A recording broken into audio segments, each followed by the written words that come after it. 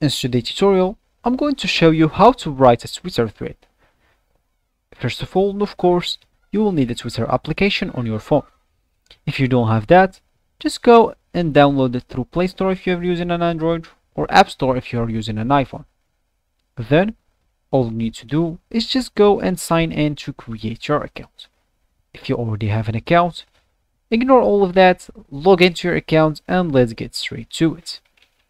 So first of all, if we want to thread or to create or to write a Twitter thread, all we want to do, just click, as I said, just click on the plus icon here.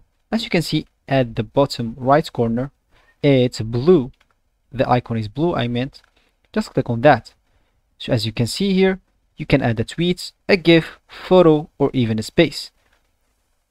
They recently added this space section, which you can add maybe an, an, an audio, sorry, an audio. So for us, let's just add a simple tweet.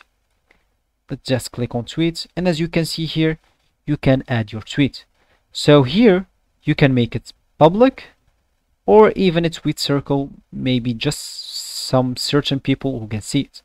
So here in this thread, you can say, in this thread, you can say whatever you want. So you can maybe tell a story that happens to you. Let's say, for example, today, today I got maybe hurt by maybe a dog or something.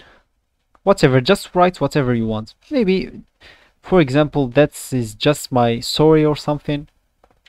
And as you can see, if you write uh, something wrong, it will appear something, a red line under this word.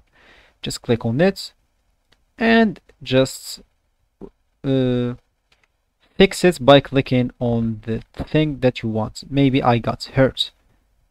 So just after clicking on that and fixing your tweet and telling your story or do whatever you want on this thread, all you thread all you want to do just go and click at tweet at the top right corner and as you can see your tweet will be posted. So here is it.